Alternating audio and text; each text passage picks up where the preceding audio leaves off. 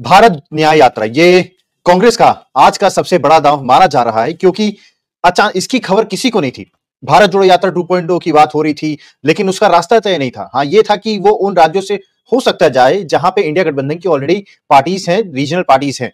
लेकिन जब ये भारत न्याय यात्रा का डिक्लेरेशन हुआ है, उसके बाद से कांग्रेस की एक नई रणनीति सामने आई है, क्योंकि ये जो भारत न्याय यात्रा चलेगी, ये शुरू हो जाएगी चौदह जनवरी से। और जो कि मकर संक्रांति के आसपास है, और उसके बाद एंड होगा, सीधे मार्च में। ठीक, चुनाव डिक्लेयर होने से कुछ दिनों पहले, और इसका इंपैक्ट बहुत ज़्यादा जो आने वाले चुनाव है, उस पर देखने को हो सकता है। क्या मोदी सत्ता को भारत न्याय यात्रा, क्या सत्ता से बाहर कर देगी मोदी सरकार को? या फिर कांग्रेस का ये कदम, इंडिया गठबंधन की जो अन्य पार्टियाँ हैं, उनके बीच में और कांग्रेस और उनके बीच में एक नई दीवार खड़ा कर देगा? या फिर ऐसा भी हो सकता है, सवाल यह भी है कि क्या ये यात्रा जो कांग्रेस है और इंडिया गठबंधन के जो दल हैं, क्या उनके बीच में नए रिश्ते कायम कर सकता है? जो भारत न्याय यात्रा है, ये भारत जोड़ो यात्रा से कितनी अलग है? सबसे पहला फ़र्क तो हमें इसके नाम में ही नज़र आता है। पहली बार इसका नाम था भारत जोड़ो यात्रा, अब उसमें एक न्याय शब्द भी जुड़ गया है। अगर हम न्याय शब्द का याद करें तो 2019 के इलेक्शंस में कांग्रेस एक स्कीम लेकर आई थी, न्याय स्कीम न्याय का मतलब था एक न्यूनतम जो मिनिमम पे एक न्यूनतम राशि जो कि प्रत्येक परिवार को दी जाएगी। तो वो जो एक है बहुत बढ़िया स्कीम थी जिसमें कि गरीब परिवारों की महिलाओं को छह हज़ार रुपए महीना के हिसाब से ताकि वो अपने घर का जो खर्च है वो चला सके। तो वो एक आ, लेकिन वो पुलवामा का कुछ इस तरह का तड़का लगा कि वो जो एक बहुत अच्छी जो गरीबों के लिए स्कीम थी वो आ, थोड़ी सी फ्लैशबैक में चली गई थी। लेकिन ये जो न्याय शब्द है, आज के समय में जो है, बहुत ज़्यादा महत्व भी रखता है। क्योंकि आज के समय में अगर हम देखें तो आर्थिक रूप में भी गरीब और अमीर में बहुत ज़्यादा फ़र्क है। आप देखें कि जो राजनीति में भी, जैसे कि बार बार ये मुद्दा उठाया जा चुका है कि ओबीसी इसको ज़्यादा से ज़्यादा ऊपर की तरफ़ ऊँचे पदों पर या मंत्री पद पर नहीं लाया जाता तो वो भी एक इशू है। और तीसरा जो उसमें है कि पॉलिटिकली भी अगर हम देखें तो जो जो ओबीसी वर्ग के जो लोग हैं, उनको उतना रिप्रेजेंटेशन एक पावरफुल पोजीशंस पे नहीं मिल रहा है जितना कि उन्हें मिलना चाहिए, जो कि बार बार उठाया भी जा रहा है।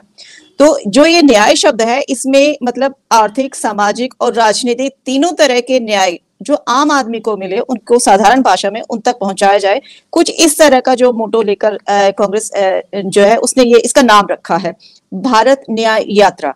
तो पिछली जो थी वो जोड़ो यात्रा का मतलब था कि जो पोलराइजेशन है या जो पॉलिटिकल डिक्टेटरशिप है, उसको खत्म किया जाए। और वो मुद्दा भी आप देखें, जैसे जैसे यात्रा आगे चलती चली गई थी, वो जो उसका आइडियोलॉजी थी उस यात्रा की, वो अपने आप डेवलप होती चली गई थी। शुरू में बहुत लोगों को यकीन नहीं था कि यात्रा पूरी भी होगी या लोग उसमें शामिल होंगे कि नहीं, लेकिन वो कारवा जो है वो बढ़ता चला गया था। तो इसी प्रकार ये मुद्दे बहुत बड़े हैं, आर्थिक, सामाजिक और राजनीतिक न्याय। न्याय अपने आप में बहुत बड़ी चीज़ है। और आज के समय में जब गरीब और अमीर में बहुत ज़्यादा फ़र्क है, किसान वर्ग वो त्रस्त है। युवाओं के पास बेरोजगारी का इतना बड़ा अंबार लगा हुआ कोई रास्ता नहीं है, उनके पास महिलाएँ हैं, उनको सुरक्षा नहीं मिलती। तो इस वक्त जो न्याय शब्द जो है, उसकी महत्ता बहुत ज़्यादा बढ़ गई है।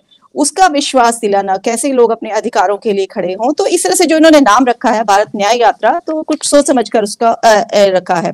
दूसरा, आप देखिए कि पहले वाली यात्रा जो थी, वो तकरीबन सैंतीस किलोमीटर के आसपास थी। इस बार यात्रा ज़्यादा बड़ी है। 6000 किलोमीटर के आसपास है और ज़्यादा स्टेट्स भी कवर करेगी। लेकिन इस बार लॉन्गर डिस्टेंस शॉर्टर टाइम में किया जाएगा, क्योंकि इलेक्शन भी नज़दीक है। तो जहाँ पर आप कह सकते हैं जहाँ पे शहर या गाँव पड़ते होंगे, वहाँ पे पैदल चलेंगे, बाकी रास्ता जो है बस से कवर किया जाएगा। एक अच्छी टेक्निक है, समय भी बचेगा और क्योंकि आने वाले इलेक्शन है, उसके लिए भी समय निकाला जा सकेगा। एक और पिछली जो भारत जोड़ो यात्रा में जो बहुत अच्छी बात हुई थी, उसमें आप देखें कि राहुल गांधी ने बैठकें की थी। रास्ते में रुक रुक के या शाम तो सौ से ज़्यादा बैठकें थी और प्रेस कॉन्फ्रेंसेस केवल पाँच महीने के अंदर में तेरह बड़ी प्रेस कॉन्फ्रेंसेस की थी जो अपने आप में उनको पब्लिक के साथ जोड़ती हैं। और उसमें जो रास्ते में रुक के छोटी छोटी यात्राएँ थी या चर्चाएँ भी करीबन तीन सौ उन्होंने इसके आसपास की थी। तो केवल चलना नहीं है सड़क पर जो लोग हैं या उस जगह पर अगर कुछ है, मंदिर है, मस्जिद है या गुरुद्वारा है, वहाँ भी जाते हैं। तो लोगों के साथ इंटरेक्शन का जो डायरेक्ट उनका पर एक जो सफलतापूर्वक उन्होंने हासिल किया तो उसके अनुभव पर अगर हम देखें तो इस बार भी उनके पास करीबन 255 लोकसभा सीट्स जिसको पूरे रास्ते से कवर करेंगे, जैसा कि आपने मैप भी दिखाया है तो उनके पास ज़्यादा मौके होंगे लोगों के साथ अटैच होने के फ़र्स्ट थिंग जन समर्थन हासिल करेंगे अपनी पार्टी के लिए, देश के लिए। दूसरा आप देखिए इसमें से जितने इंडिया गठबंधन के अब नए ग्रुप हैं जिसमें कि इसमें वेस्ट बंगाल में ममता बनर्जी हैं और फिर बिहार में नीतीश कुमार है और फिर यूपी में अखिलेश है। तो जब ये इन राज्यों से ये यात्रा निकलेगी तो नेचुरली जो इंडिया गठबंधन के अलाइंस हैं जितने मेंबर्स हैं वो भी उनके साथ जुड़ेंगे। तो उनका जो लोकल समर्थन है वो और कांग्रेस का समर्थन वो इकट्ठा सड़क पर निकलेगा। तो इससे इंडिया गठबंधन में भी और मजबूती आएगी लोगों में विश्वास बढ़ेगा। और ए, एक और चीज़ अगर हम इसमें देखें तो ये घूमते हुए मध्य प्रदेश, राजस्थान, छत्तीसगढ़, जिसमें से कि अभी अभी करंटली वो अपनी पोजीशन लूज कर चुकी है। जब मिड टाइम में जब इन राज्यों से भी दोबारा गुजर के आएगी तो वोट परसेंटेज तो अच्छी मिली है। तो जब ये यात्रा इन राज्यों से निकलेगी, तब लोगों का जो हुजूम साथ में नज़र आएगा, उसका एकदम से पॉलिटिकल इम्पैक्ट भी सबको नज़र आएगा। फिर लास्ट में मुंबई। मुंबई में जहाँ पे इनके साथ ठाकरे भी हैं और जो शरद यादव भी है तो वहाँ पे इसका समापन होगा। तो मणिपुर से शुरुआत और मणिपुर पे एंड और शुरुआत मणिपुर से। आप ये देखिए कि ये केवल पॉलिटिकल नहीं है, जैसे कि वेणुगोपाल ने भी कहा कि नॉन पॉलिटिकल यात्रा है। तो मणिपुर और मेघालय और आसाम, इनमें बहुत कम सीट्स हैं, लेकिन उसके बावजूद भी इसको मणिपुर से स्टार्ट किया गया है। और मणिपुर में राहुल गांधी पहले भी जाकर आए थे और इस बार भी वो शुरुआत वहाँ से करेंगे। इट मीन्स जो ह्यूमन बॉन्डिंग है, जो सबसे बड़ी न्याय जो हम कहते हैं, उसकी शुरुआत मणिपुर से ही करेंगे, क्योंकि आज के समय में अगर न्याय नहीं मिला है तो मणिपुर के लोगों को नहीं मिला है। तो भारत न्याय यात्रा जब मणिपुर से शुरू होगी, वो अपना ही एक अलग इम्पैक्ट लेकर आएगी। आपको नहीं लगता ये बहुत बड़ा दाव है जो कि राहुल गांधी जी ने चला है? क्योंकि साफ़ तौर पे अगर ये यात्रा होती है, और उसी समय लगातार रैलियों का दौर शुरू हो जाएगा, पीएम नरेंद्र मोदी रैलियाँ करेंगे, जो कि उन राज्यों में होगी जो ऑलरेडी जहाँ पे बीजेपी सरकारें हैं या फिर वो पीएम हैं तो जहाँ भी हो जाएँगे, वहाँ लाभ लश्कर तो अच्छे से काफ़ी रहेगा ही शुरुआत अयोध्या से ही होने जा रही है। इस दौरान जब बीजेपी इतनी बड़ी बड़ी रैलियाँ कर रहा होगा, तब कांग्रेस ने ये जो रैलियाँ जो है, उस पार्ट, उस कॉन्सेप्ट को छोड़ के सीधे सड़कों पर उतरा है। तो ये बहुत बड़ा आपको रिस्क फैक्टर नहीं लग रहा जो कांग्रेस ने उठाया है? या फिर ये उनके लिए बहुत बड़ा एक तरह से बूंद बन सकता है मतलब आशीर्वाद बन सकता है? क्योंकि अब वो डेली बेसिस पे बहुत ज़्यादा इतना बड़ा इवेंट नहीं क्रिएट करके डेली बेसिस पे रोड पे रह के जनता से संवाद करेंगे और वो सीधे तौर पे जो डेली एक्टिविटीज़ है वो जनता के बीच में पहुँचती रहेगी मीडिया के ज़रिए। आपको क्या लगता है, ये रिस्क है या बहुत बड़ा एक तरह से प्रॉफिटेबल स्टेप साबित होगा कांग्रेस के लिए? ये एक अपनी यात्रा से पहले अपनी इलेक्शन कैंपेनिंग जो है वो कल से शुरू कर देंगे। तो कल से जैसे कि है तैयार हम, जो उन्होंने लोगो ही रखा है कि हम आने वाले इलेक्शंस के लिए तैयार हैं। तो इट मीन्स यात्रा से पहले उनकी इलेक्शन कैंपेनिंग स्टार्ट हो गई है। तो इस पहले से शुरुआत करने का फ़ायदा ये हुआ कि बेशक ये यात्रा नॉन पोलिटिकल है, लेकिन ये पॉलिटिक्स से छूती नहीं रह सकती। पहली बात तो ये।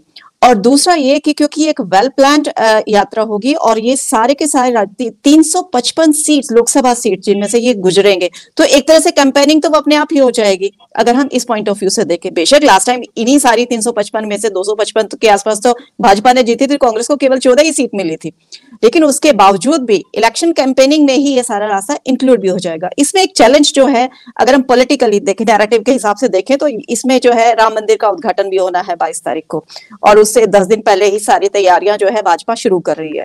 पहली बात तो ये एक धार्मिक आयोजन का सरकारीकरण किया जा रहा है, जो कि जनता की समझ में भी आ रहा है। तो और भाजपा के पास जो सबसे बड़ा जो एक नैरेटिव है, वो हिंदुत्व और नेशनलिज्म का है। और इस बार पुलवामा जैसा स्टंट अगर कुछ ऐसा कोई उम्मीद नहीं करता कि कुछ ऐसा हो सकता है तो इस वक्त अगर भुनाने के लिए एक मुद्दा है तो भाजपा के पास केवल राम मंदिर का है।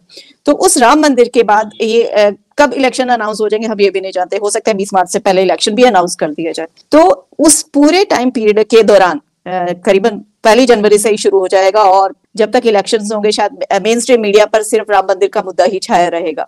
तो ये तो है और वो अभी भी कौन सा कांग्रेस को दिखा रहे हैं या अपोजिशन को दिखा रहे हैं या, या किसी भी प्रोटेस्ट को जो सड़क पर हो रहा है उसको दिखा रहे हैं।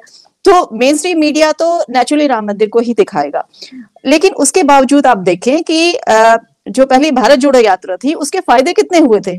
पहली बात, कांग्रेस रिवाइव हुई।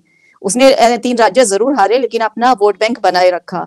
युवा जो लोग थे वो उनके साथ जुड़े और वो वहाँ से नज़र आता है कि जब कन्याकुमारी से शुरू हुए थे और जब वो वहाँ पे कश्मीर में खत्म हुए थे तो उनके पास कितने लोग खड़े थे? रास्ते में उनके साथ कितने दूसरे दलों के लोग, अब फ़िल्म इंडस्ट्री से लोग आर्ट से लोग फाइनेंस से लोग, कितने उनके साथ रास्ते में मिलते चले गए? हर किसी को उनके साथ जुड़ना ज़्यादा अच्छा लगा था। तो कश्मीर से भी फारूक अब्दुल्ला भी थे महबूबा मुफ्ती भी थी और उधर से ठाकरे भी उनके साथ शामिल हुए थे।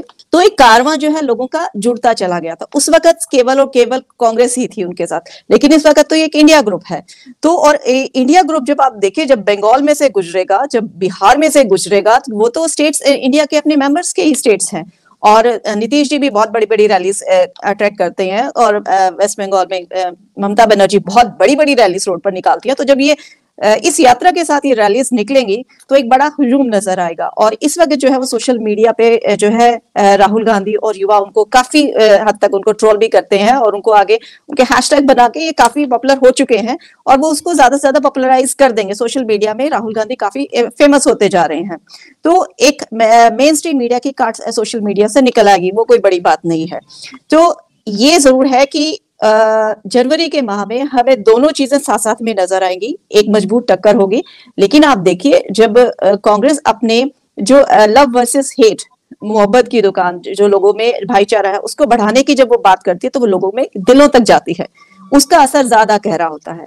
तो राहुल गांधी की अपील बढ़ रही है हाँ पिछली बार जब हमने देखा था, शुरुआत में उनकी हल्की सी दाढ़ी थी और लास्ट तक जाते जाते बहुत बड़ी दाढ़ी और पूरा लुक ही चेंज हो गया था, शक्ल भी बदल गई थी। तो वो इस बार देखने को मिलता है कि नहीं, हम नहीं जानते, लेकिन शक्ल ही नहीं, उनकी पर्सनैलिटी में, सोच समझने के तरीके में और लोगों के बारे में जो उनकी विचारधारा थी, उसमें बहुत ज़्यादा बदलाव आ गया। इसकी वजह से आप देखें जब भी वो आपको धान की बुआई करते देखे, आज पहलवानों से मिले हैं, कभी उसमें जो मैकेनिक्स है, उनके साथ आ जाते हैं तो वो जो उनका बात करने का इंटरेक्शन का जो तरीका है, उसमें काफ़ी मेच्योरिटी आ गई है। वो पॉलिटिकल बहुत मेच्योर हो गए हैं और यही एक पॉलिटिकल मेच्योरिटी है जो उनको संसद से निकालने के बाद संसद में दोबारा उनको बुलाना पड़ा। तो ये जो भारत न्याय यात्रा है बीजेपी के लिए डेफिनेटली चैलेंज है, लेकिन इंडिया ग्रुप के लिए और कांग्रेस के लिए एक ये ऑप्शन है, जिसको आप कह सकते हैं कि आशीर्वाद है, एक बून है, कि वो अपनी यात्रा के थ्रू लोगों के साथ ज़्यादा अच्छे से कांटेक्ट कर सकते हैं और उन्हें अपने जो मकसद है, उनको बड़ी साधारण भाषा में आप उनको बता सकते हैं। एक जन समर्थन जनसैलाब का आप हासिल कर सकते हैं।